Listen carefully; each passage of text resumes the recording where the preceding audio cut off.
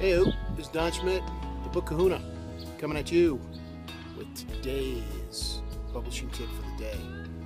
Today's publishing tip hey, it's July 4th. Happy Independence Day. Get out, have a barbecue, have fun, be with your family, do everything that you need to do. Just be out and about. But just remember, freedom's not free.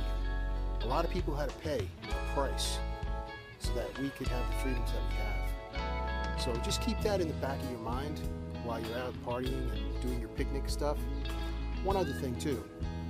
You know, I've been thinking about this for a while with what's been going on lately with the, with the government and the Supreme Court and everything.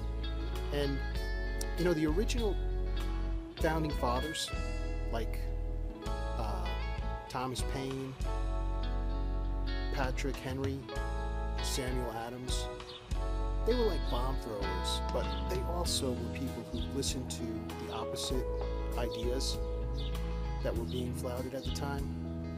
And you know, we've lost that. We, we, we've become people who demonize people who have ideas that don't necessarily mesh with our own.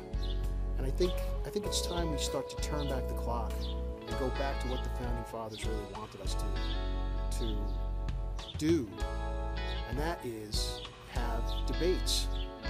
Have, have spirited debates, but then actually go to the pub and have a beer afterwards instead of demonizing each other and hoping each other die and all this kind of stuff that actually happens in the U.S. today. It's it's that's not how it's supposed to be. So anyway, on this July 4th, dedicate yourself to maybe listening in, trying to see the opposite point of view. Don't be too judgmental, and just live your life because this is the greatest country in the world, and you know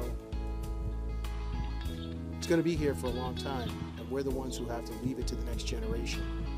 So let's make it a good one. Don Schmidt, Book Kahuna, coming at you today's publishing tip of the day, and that is Happy 4th of July, Happy Independence Day. Have a great one.